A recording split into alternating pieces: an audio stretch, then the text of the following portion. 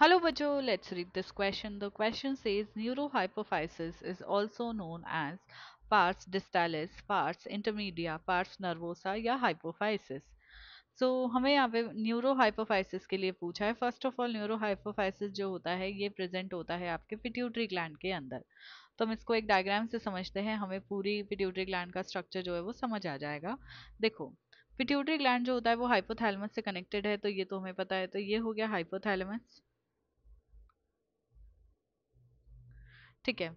And ये जो हमें स्ट्रक्चर दिख रहा है ये है पिट्यूटरी ग्लैंड सो so, अगर हम देखें पिट्यूटरी ग्लैंड में हम ऑलरेडी जानते हैं कि एंटीरियर पिट्यूटरी पोस्टीरियर पिट्यूटरी यानी पिट्यूटरी ग्लैंड में दो लोब्स प्रेजेंट होती है। एक को हम बोलते हैं एंटीरियर पिट्यूटरी एंड दूसरे को हम बोलते हैं पोस्टीरियर पिट्यूटरी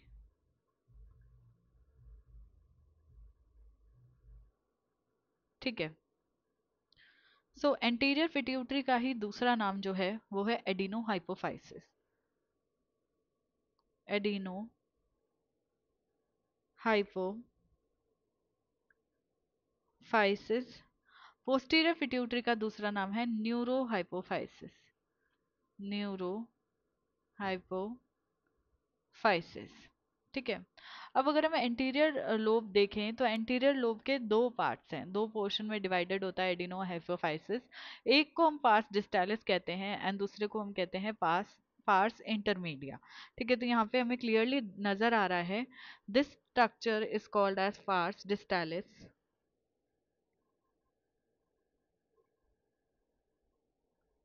ठीक है एंड ये जो मिडिल लोब आपको नज़र आ रहा है दिस इज़ पार्स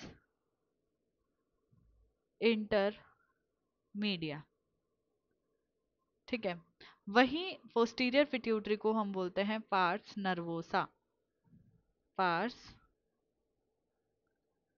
नर्वोसा बहुत सिंपल है। न्यूरो हाइपोफाइसिस बोला जाता है इसको क्योंकि हाइपोथैलमिक या न्यूरो सिक्रेटरी सेल जो है वो हॉर्मोन्स यहाँ पे लाके स्टोर करते हैं।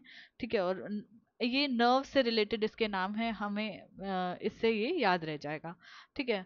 तो बेसिकली पास डिस्टालिस क्या है? तो एंटीरियर लोब का यानी ये कह सकते हैं कि एडिनो हाइपोफाइसिस का पार्ट है। एडिनो हाइपोफाइसिस के दो पोर्शन है, एक है पार्स डिस्टालिस एंड एक है पार्स इंटरमीडिया तो ये एडिनो हाइपोफाइसिस के पार्ट है, ये इनकरेक्ट हो जाता है ऑप्शन पार्स नर्वोसा करेक्ट हो जाता है हाइपोफाइसिस भी इनकरेक्ट हो जाता है। हमारा जो करेक्ट आंसर चला जाएगा that will be option C इसके रिगार्डिंग इन्फॉर्मेशन आपको इलेवंथ की न्यू एनसीआरटी में पेज नंबर 241 पे मिलेगी। आई होप कि आपको क्वेश्चन अच्छे से समझ आ गया है।